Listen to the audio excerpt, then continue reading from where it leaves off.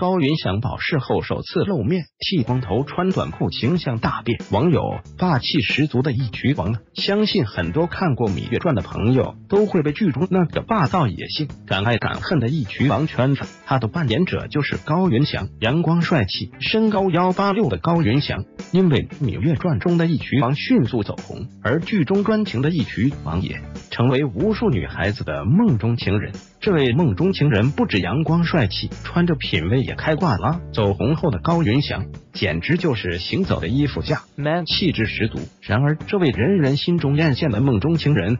自从三月底被控告性侵以来，形象一落千丈。如今妻子董璇四处筹措保释高云翔，而保释出来后形象也大变，与以前的小鲜肉形象简直判若两人。六月三十日，有网友爆料，在澳洲教堂走廊偶遇被保释的高云翔，剃光头，身穿短袖配短裤，一身邋遢，形象大变，与性侵事件前的那个帅气霸道的义渠君完全不像一个人。高云翔保释后现身，形象大变。让不少网友唏嘘不已，大呼哪个帅气霸道的义渠君哪里去了？让我们一起来找一找之前的哪个帅气霸道的义渠君。我们的梦中情人原来是这样的：身穿修身小西装，内搭浅色衬衫，脚蹬黑色皮鞋，痞帅痞帅的高云翔亮相机场。穿深色上衣搭配破洞牛仔裤，阳光又青春，整体造型简直就是教科书级的穿搭。再加上脚踝微露，手拎黑红色双肩包，